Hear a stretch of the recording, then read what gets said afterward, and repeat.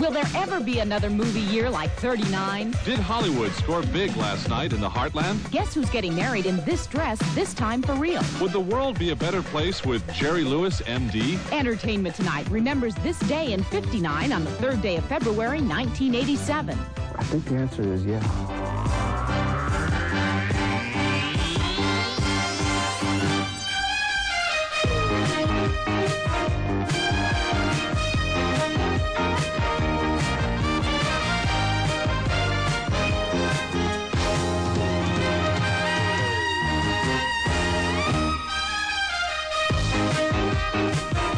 Hi, everybody. I'm John Tesh. And I'm Mary Hart. Cleveland, Ohio has been a city with an image problem in recent years, but last year's announcement that Cleveland had been chosen as the site for the new Rock and Roll Hall of Fame brought a glimmer of hope. Last night, the lights were blazing on the State Theater marquee. Cleveland hosted the world premiere of Light of Day, the new rock movie with Michael J. Fox that could signal a new dawn for the city's image. It was a homecoming of sorts for the cast and crew since the film was shot on location here last year. The fans turned out to cheer the stars, the movie, and their city. The folks in Cleveland have a lot to celebrate tonight with the premiere of Light of Day bringing a touch of Hollywood to the heart of the heartland. Michael J. Fox plays Joe Rasnick, and Joan Jett makes her motion picture debut as his rebellious sister Patty. The film is a drama of sibling rivalry set against the backdrop of the city's bar band scene. I think people will be touched by it, and I've, I've met a lot of rock and roll people who are really excited about uh, the integrity with which it deals with you know, the whole bar band scene. I thought it was really nice to be able to perform in an actual bar where bar bands, or, you know, bands do play. So because it, it was authentic. The original title of the screenplay was Born in the USA, but when Bruce Springsteen borrowed it, it became too identified with the song to work for the film. He said, well, I'll write you a new song. So he wrote this song, Light of Day, and uh, which became the new title. It's not what people might expect me to do, and it's, you know, it's not, uh, you know, quote-unquote Michael J. Fox movie kind of thing. I, I knew that. I just loved the story and wanted to see it get made. Here in Cleveland, Nina Blackwood, Entertainment Tonight. Cleveland might well be the perfect setting for a movie about bar bands. The city's clubs have nurtured such rock and roll stars as Joe Walsh, Chrissie Hynde, and Eric Carmen. Hollywood is celebrating its 100th birthday, and although some years were better than others, one year stands out as the greatest in filmmaking history. It was the year of Scarlett and Rex, Mr. Chips, and Toto, too. 1939. War had broken out in Europe, but the Hollywood Dream Factory was in its heyday. Movie studios like David O. Selznick's here were turning out more films destined to be classics than in any other year. Sir, you are no gentleman. And you, miss, are no lady. Gone with the Wind swept the 1939 Academy Awards, but it was just one of the gems from Hollywood's most opulent year.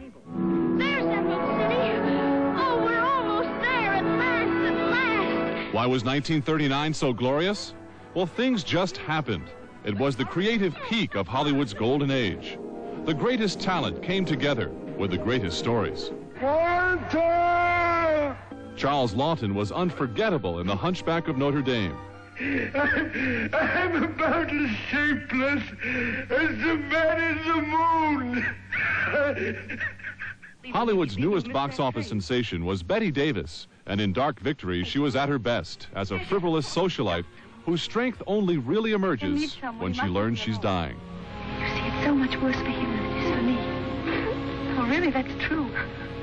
I'm the lucky one. All I'll miss is growing old and being tired and worn out. Cary Grant, Douglas Fairbanks Jr., and Victor McLaglen gave us rip-roaring excitement in Gunga Din. Could be first-class soldier sign. Oh, don't make me laugh. One of the loveliest movies Hollywood ever produced was Goodbye, Mr. Chips, which featured the Oscar-winning performance of Robert Donat. In my mind, you remain boys, just as you are this evening.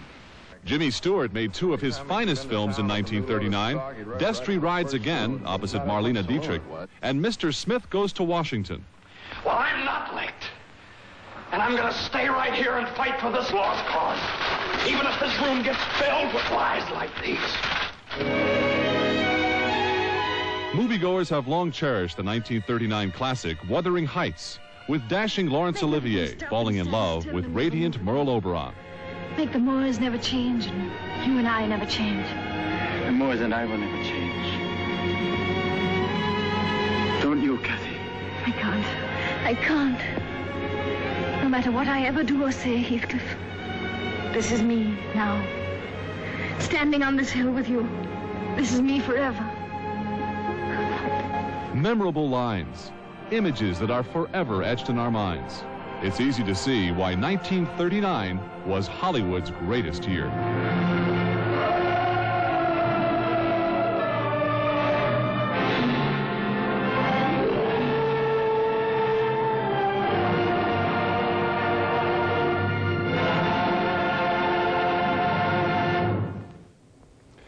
Of these movies hold interest for the home viewer, with Gone with the Wind leading the 1939 pack at number 16 on the video sales charts, selling in excess of 300,000 copies. Nearly half a century after its 1939 high water mark, the Hollywood movie industry is still firmly in place. Mannequin, a 1987 movie, is the subject of today's exclusive movie preview.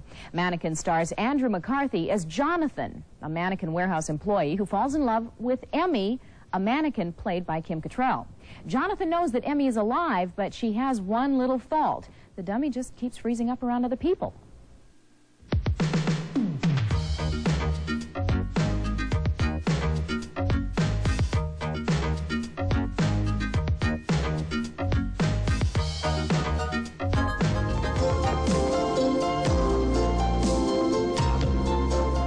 It's the most beautiful window I've ever seen. It's all you, you know. Not this time. Every time. You're part of me now. I got you in here. Come on, you ready to go? Are you really sure that you want to do this? Absolutely. You've been cooped up in that store too long. Besides, who cares what people think? Just put your arms around me and hold on tight. With pleasure.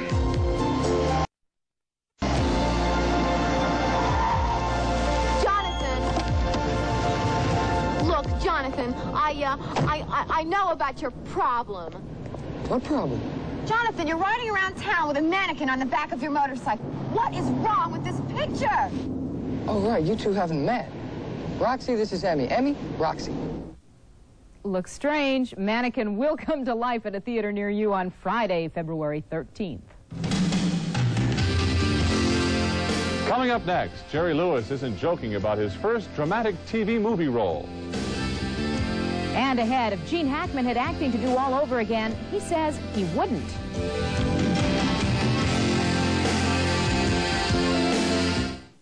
Just you know why. By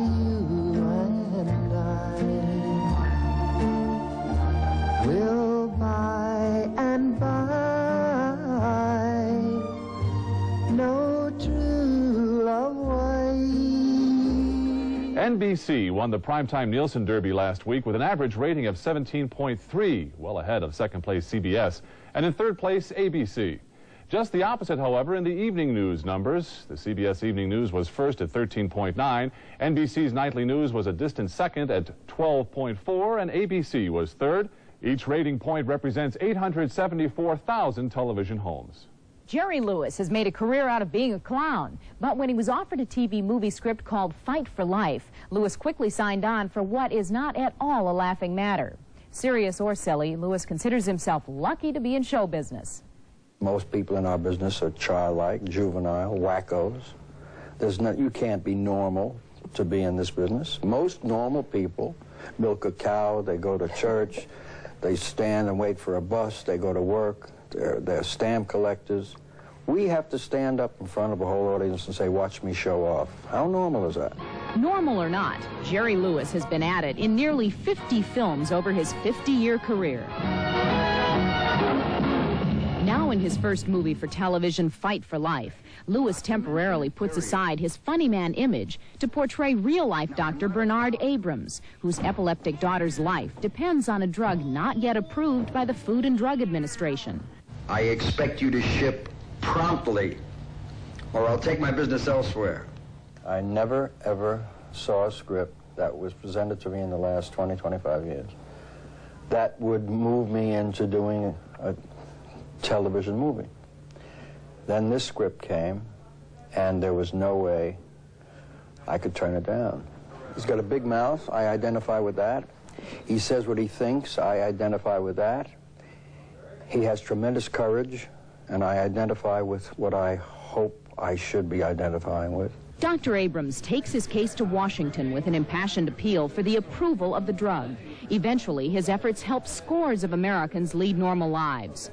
Lewis said it was the chance to play a crusader that brought him to this rare dramatic role. We could possibly be playing to 35 or 40 million people when this airs. If we're lucky and everything is as we hope, that's a lot of people.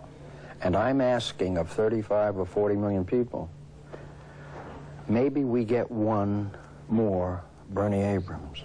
Wouldn't that be something? Hmm, I look forward to seeing him do that. Good dramatic role. Fight for Life, incidentally, is scheduled to air later this season on ABC. Coming up tomorrow, an exclusive movie preview of Stanley Kubrick's Vietnam War epic Full Metal Jacket. Thursday, Hollywood's rising stars, a report on one of television's newest sex symbols.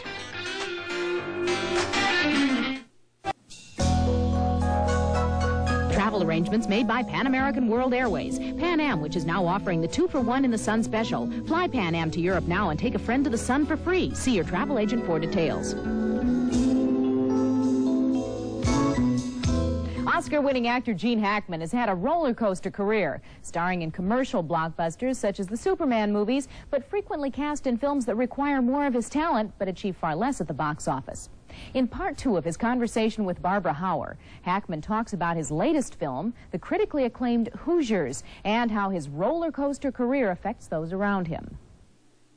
What, what is my drinking got to do with my knowledge about basketball? You can't drink in front of these boys. If I uh, smell even a trace of liquor on your breath, you'll be finished. You have done so much, so well, and for so long.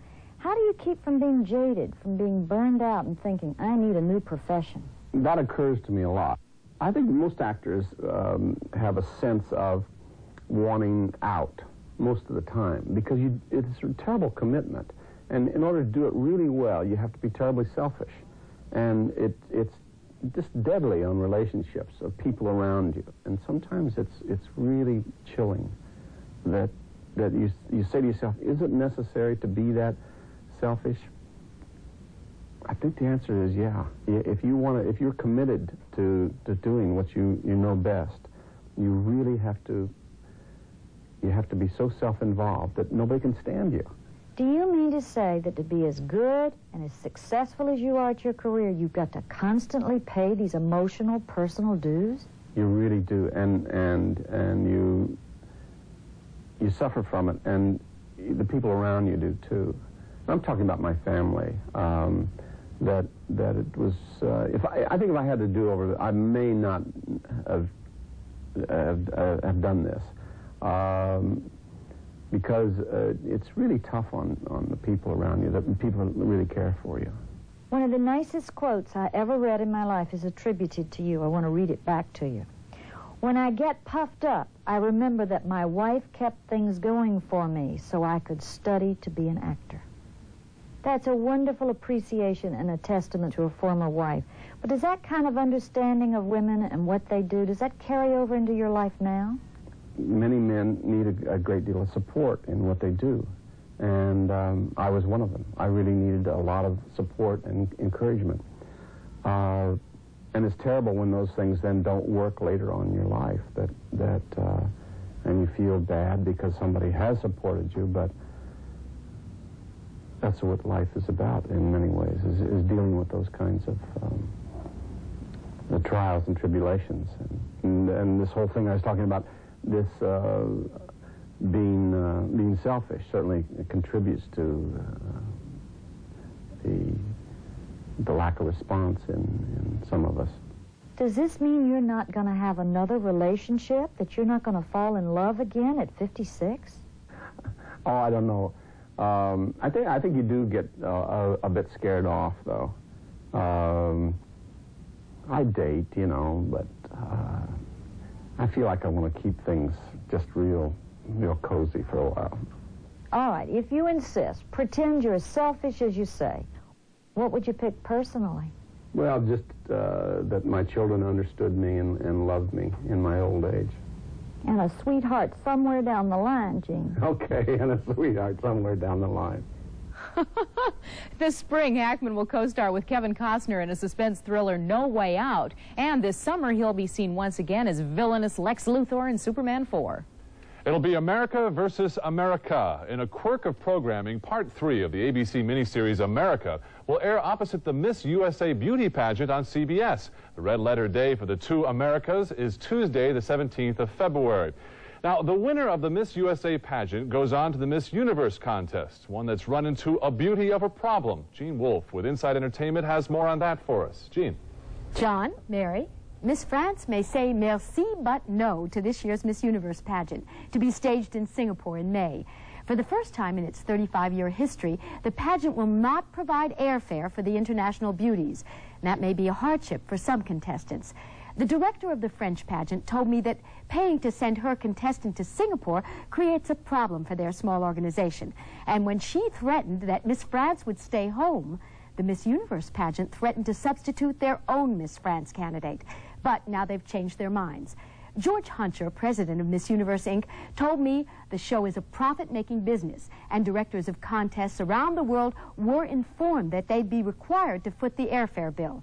He pointed out that the winner of Miss Universe can win up to $200,000 in cash and prizes.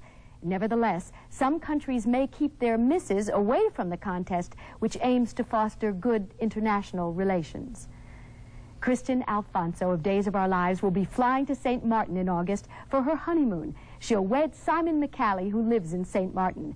Kristian is one of the most popular actresses on daytime soaps. I've learned she'll be getting married in the same $20,000 dress she wore when she got married as Hope on the series.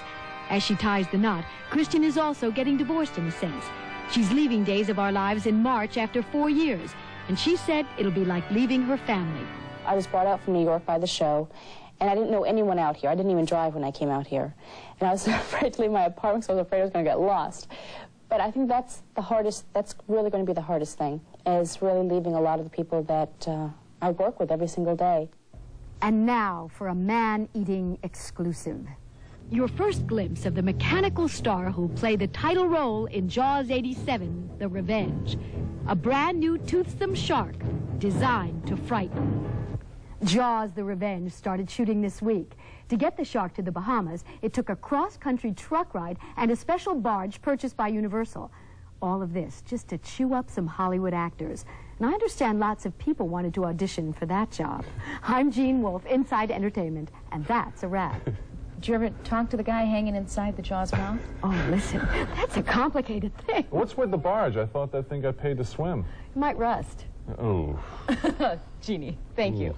the private dancer takes a stroll down the Walk of Fame on Tina Turner's greatest moment in Hollywood. We'll have that, plus a look back at some vintage Buddy Holly when we return.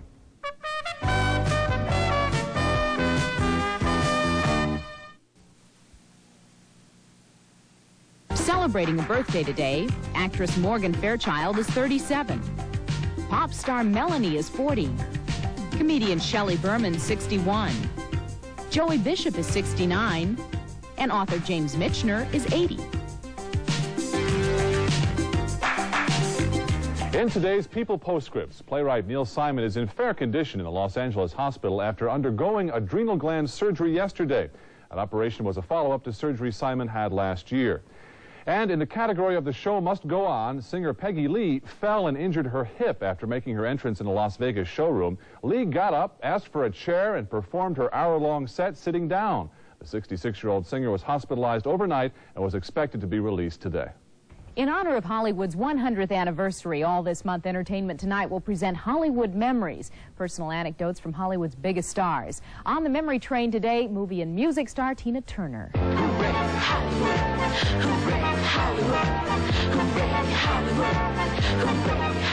When I was a very young girl, I envisioned acting and singing, big stage, big star on the door, red chiffon dress and a fan and entering, and I was a big star. And I thought that I would enter Hollywood as, a, as an actress. Instead, I entered as a singer, and my success has come with two movies and a star on Hollywood Boulevard. So it came from all of the years of work in my music, all of the television shows, all of the videos, all of my life is what made my dream come true for Hollywood. Has not been a disappointment for me because I do have a star on Hollywood Boulevard, and it says that I did make it. Because of hard work, obviously. Tomorrow on Hollywood Memories, Uncle Milty, Milton Berle, talks about crossing paths with the movie's greatest comic. And uh, your chance for the first look anywhere at Stanley Kubrick's Vietnam War drama, Full Metal Jacket. 28 years ago today, in 1959, Buddy Holly died in a plane crash near Mason City, Iowa. It was a tragic end to a remarkable career. Nevertheless, his music endures. And here he is on Dick Clark's Best of Bandstand home video performing Peggy Sue back in 1957. See you tomorrow. Take care, everybody.